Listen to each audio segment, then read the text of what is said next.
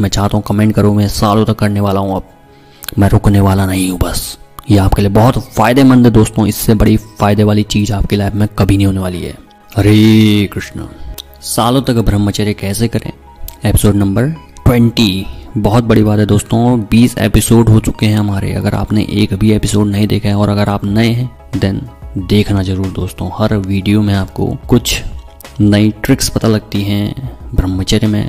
रहने के लिए, ब्रह्मचर्य को सफल बनाने के लिए। तो छोड़ना मत दोस्तों इन एपिसोड्स को। आज हम अगेन बताएँगे ब्रह्मचर्य रहने के कितने सारे फ़ायदे होने वाले हैं आपको और सालों तक ब्रह्मचर्य कैसे करा जाए, आप खुद ही समझ जाएँगे दोस्तों। और आज की वीडियो उन लोगों के लिए होने वाली है जो लोग बोलते हैं, जम के हस्तक्रिया करो, जितना आपका शरीर मांगे उतना कर लो। और हस्तक्रिया से कोई नुकसान नहीं होता है, ब्रह्मचर्य करने के नुकसान ही नुकसान है बोलते हैं। उनको बता दें आज कि कितने सारे फ़ायदे होते हैं और हस्तक्रिया करने के कितने सारे नुकसान होते हैं। देख लेना मेरे भाइयों। समय वेस्ट नहीं करूँगा आपका। तो जो बोलते हैं, हस्तक्रिया करो, ब्रह्मचर्य मत करो, उनको जो भी आपको ये बोलते हुए दिखे, उनको ये बोलना कि मेरे भाई, ब्रह्मचर्य करने से मुझे कभी लाइफ में मौसमी बीमारियाँ नहीं लगने वाली है। अगर हस्तक्रिया करूँगा तो मुझे मौसमी बीमारियाँ बहुत जल्दी लग जाएँगी और वो जल्दी ठीक भी नहीं होती हैं। लेकिन ब्रह्मचर्य करूँगा तो मुझे किसी भी तरह की बीमारी लगने से पहले हज़ार बार सोचेगी और कभी लग नहीं पाएगी। ये समझना मेरे भाई, जैसे ठंड के टाइम पे खांसी, जुकाम होना और गर्मी के समय गर्मी सह ना पाना। इस तरह की बहुत सारी समस्याएँ हैं दोस्तों। बहुत सारी बीमारियाँ इस दुनिया में हैं, लेकिन ब्रह्मचारी को इनमें से बहुत कम ही लग पाती हैं दोस्तों। उसके बाद बोलना हस्तक्रिया करूँगा तो मेरा दिमाग बहुत ज़्यादा चंचल बन जाएगा, दुर्बल बन जाएगा कामी बन जाएगा और पापी बन जाएगा। और कोई भी प्रतिज्ञा, कोई भी चैलेंज मैं कर नहीं पाऊँगा। ये बहुत बड़ा सच है दोस्त, जो हस्तक्रिया करेगा, उसका दिमाग चंचल बन जाता है। वो मन नहीं लगा पाता एक जगह। हार मान लेता है जल्दी। लेकिन ब्रह्मचारी बड़ी आसानी से अपने कार्य को सफल कर पाता है और अपनी लाइफ में भी सफल बन पाता है। और बोलना कि हस्तक्रिया करूँगा तो मेरे विचार एक जगह पर रह नहीं पाएँगे, टिक नहीं पाएँगे। ये बहुत बड़ा सच है। उसके बाद बोलना कि हस्तक्रिया करने से उसका दिमाग में गर्मी छा जाएगी, आँखों में जलन होना और आँखों से पानी आना, इस तरह की समस्याएँ ब्रह्मचारी को कभी नहीं होती है। उसके बाद जल्दी गुस्सा आ जाना और जल्दी गुस्सा शांत हो जाना, इस तरह के कार्य एक हस्तक्रिया करने वाले में रहते हैं। उसके बाद बोलना कि हस्तक्रिया करने वाले में माथे में, कमर में, रीढ़ की हड्डी में और छाती में बार बार दर्द होता है, इसलिए मुझे हस्तक्रिया नहीं करनी चाहिए। लेकिन ब्रह्मचारी को ये समस्याएँ बहुत कम होती हैं, दोस्तों, होती ही नहीं है सच में। मान के चलो। उसके बाद ये बोलना कि उनको हस्तक्रिया करने वाले के दांत के मसूड़े फूल जाते हैं, दांत कमज़ोर बन जाते हैं, जल्दी खराब हो जाते हैं और मुँह से बहुत गंदी दुर्गंध आती है और शरीर से भी बहुत खतरनाक बदबू आती है, दोस्तों। लेकिन एक ब्रह्मचारी रोज एक्सरसाइज करता है, रोज पसीने बहाता है, रोज नहाता है और उसके शरीर में बदबू नहीं आ पाती दोस्तों। इसलिए दांतों को बिल्कुल साफ़ रखना चाहिए आपको।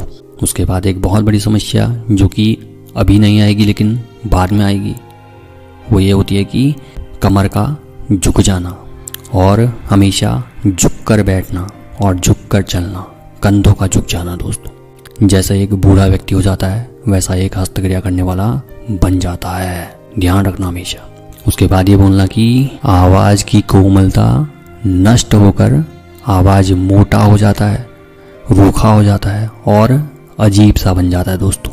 लेकिन ब्रह्मचारी की आवाज़ बहुत कोमल रहती है और लोग उसे सुनना पसंद करते हैं। इसलिए कहा जाता है दोस्तों कि ब्रह्मचर्य करना चाहिए आपको। और एक छोटी सी रिक्वेस्ट है दोस्तों, हमारे वीडियो की एडिटिंग अगर आपको अच्छी ना लगे तो उस पर ध्यान ना दे ज़्यादा, लेकिन इन बातों को सुने और अपनी लाइफ में अप्लाई करें और इनको ध्यान से अपने मन में रखें। इनको आप चाहें तो नोट भी कर सकते हैं दोस्तों, लेकिन एडिटिंग को ज़्यादा मत देगा दोस्तों, क्योंकि हम एडिटिंग के लिए वीडियो नहीं बनाते हैं, बल्कि अच्छा ज्ञान आपको देने के लिए वीडियो बनाते हैं। और मैं चाहता हूँ इस वीडियो पे हज़ार कमेंट कर दें आप। उसके बाद उनको बोलना कि हस्तक्रिया करने वाले की छाती की हड्डियाँ दिखने लगती हैं और छाती ऊपर, नीचे या कह सकते हैं दोस्तों गाइनोकेमेस्टिया की जो समस्या होती है दोस्तों, हस्तक्रिया करने वाले को आ जाती है। उसके बाद एक और बोलना कि आँखों में छाइयाँ पड़ना, आँखों में डार्क सर्कल पड़ना, ये हस्तक्रिया करने वाले में जल्दी आता है दोस्तों। ब्रह्मचारी की आँखें बहुत अच्छी लगती हैं, सुंदर होती हैं। तो जितना आप ब्रह्मचर्य करेंगे, आपके शरीर में ये सारे के सारे चेंजेज आने लग जाएँगे दोस्तों। आपके जीवन में बहुत पावरफुल चेंजेज आते हैं, ये समझ लेना। उसके बाद एक और चीज़ बोलना उनको कि कहीं कोई काम हो, वहाँ पर कामयाबी ना मिलना और हमेशा अपमानित बनना, खुद में ही गिल्ट में रहना, ये एक हस्तक्रिया करने वाले का बहुत बड़ा लक्षण और धीरे धीरे उसके जीवन से संपत्ति और संतति सब कुछ नष्ट हो जाती है। अधर्म, व्यभिचार, व पाप का बढ़ना यह हस्तक्रिया करने वाले के साथ होता है। उसके बाद ये बोलना कि हस्तक्रिया करने से आयु कम होने वाली है, घट जाती है। और कुछ लोग बोलेंगे, भैया, मरना तो पहले भी है, मरना तो बाद में भी है तो क्यों ना पहले ही मर लिया जाए? क्या ही फ़र्क पड़ता है? तो मैं कहता हूँ, दोस्तों, चाहे पहले मरना है, चाहे बाद में मरना है, लेकिन ये जीवन स्वस्थ जीना है, स्वस्थ रह कर मरना है। समझ लेना मेरे भाइयों, जितना स्वस्थ रहोगे, जीवन जीने में मज़ा आएगा। लेकिन जीवन जीते जीते मरे के समान हो, हस्तक्रिया करके, वीर का नाच करके अंदर से खोखले पड़ गए हो तो इस जीवन का कोई महत्व नहीं रह जाएगा। ये समझ लेना मेरे भाई। और हस्तक्रिया करने वाले में एक बहुत बड़ी समस्या जो कि बहुत सारे लोग कमेंट करते हुए भी दिखते हैं भैया कि जो ब्रह्मचारी की बातें कर रहे हैं, उनकी बातें ना मानना और अपनी मन की मनमानी करना और अपनी मस्ती में रहना, कुछ लोग कमेंट करते हैं भैया। Facts is life. मैं तो रोज़ फैक्स करता हूँ, रोज़ ही जाता हूँ इस ऑफ़िस और रोज़ मज़े करता हूँ। मैं कहता हूँ, कब तक करेगा मेरे भाई ऐसा? कभी तो रुकना पड़ेगा। और इतनी सारी समस्याएँ आपके शरीर में आ जाती हैं दोस्तों। तो समझ लेना मेरे भाई, रुक जाओ, अभी भी समय है, बहुत समय है आपके पास। सालों तक करो और इस जीवन को ब्रह्मचारी की तरह जीना सीखो लाइफ में। सच में, हमेशा खुश रहोगे। ये दो सेकंड का मज़ा आपको कभी भी सुख नहीं देने वाला है। विनाश काले विपरीत बुद्धि। जब मनुष्य का विनाश होने वाला होता है तो उसकी बुद्धि फिर जाती है और वो व्यविचार में फंस जाता है, गलत काम में फंस जाता है, गलत चीज़ें देखने में फंस जाता है और गलत चीज़ें करने में फंस जाता है।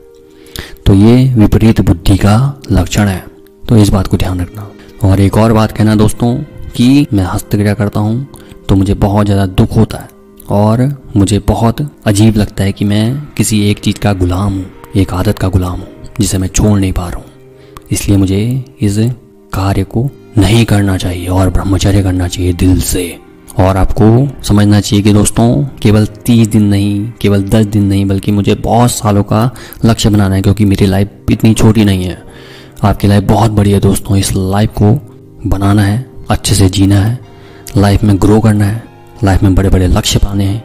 और विश्वास करो मेरे भाइयों मैं बहुत सारे लोगों के कमेंट पढ़ता हूँ। जब मैं उनकी शक्ल देखता हूँ तो कुछ लोगों की शक्ल देख के लगता है कि यार, इन्होंने कुछ ज़्यादा क्रियाएँ कर दी हैं और ये बहुत दुखी हैं। लेकिन कुछ लोगों का एटीट्यूड और कुछ लोगों की शक्ल में बहुत परिवर्तन दिखता है दोस्तों। देखते पता लगता है कि यार, ये इंसान का एटीट्यूड बदल चुका है ब्रह्मचर्य करते हुए। और ये खुश रहने लग गया है लाइफ में। दोस्तों, आँखों में आपके दिखना चाहिए कि आपके पास एक बहुत बड़ा लक्ष्य है हमेशा, जो कि आप पाके रहोगे। हंड्रेड परसेंट पाओगे दोस्तों खुद पर विश्वास रखना बस। और अंत में क्या होता है दोस्तों जो हस्तक्रिया बहुत ज़्यादा कर देते हैं उसके बाद हमेशा अंदर से दुखी रहना अंदर से चिंताओं से भरे रहना टेंशनों में रहना कि भैया मैं कमज़ोर हो गया हूँ मेरी शादी कैसे होगी मेरे बच्चे कैसे होंगे मैं क्या करूँगा? इन चिंताओं में रहना और, और लाइफ में कहीं पर फोकस ना कर पाना। और गिल्ट में रहकर मरने का विचार आना दिमाग में इतने सारे प्रमुख चिन्ह हैं दोस्तों, ब्रह्मचर्य नाश के। और जो वीर रक्षा करेगा, ब्रह्मचर्य करेगा दिल से, वो लाइफ में हमेशा सफल होता है। जो चाहता है, वो पा लेता है दोस्तों।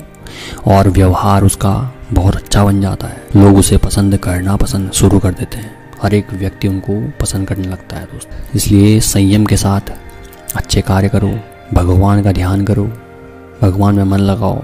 हर एक व्यक्ति आपकी तरफ़ आकर्षित होगा दोस्तों, जब आप भगवान को पूछना शुरू करते हो।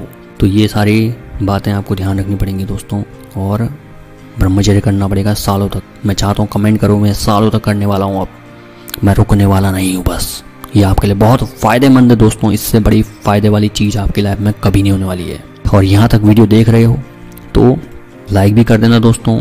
मैं देखता हूँ यार अनटसंट रील्स में तो लाखों में लाइक्स होते हैं, लेकिन हमारी वीडियोज़ में एक भी लाइक नहीं हो रहा है। कोई फ़ायदा ही नहीं हो रहा दोस्तों। लेकिन अगर आप चाहें तो दोस्तों, मुझे लाइक की कोई चिंता नहीं है, लेकिन अगर आप चाहें तो दोस्तों, ज़रूर करें दोस्तों। मैं चाहता हूँ ऐसे कॉन्टेंट को भी सपोर्ट मिले। और हमारे सब्सक्राइबर अटक चुके हैं तो इनको थोड़ा सा और बढ़ाओ। हरे कृष्ण।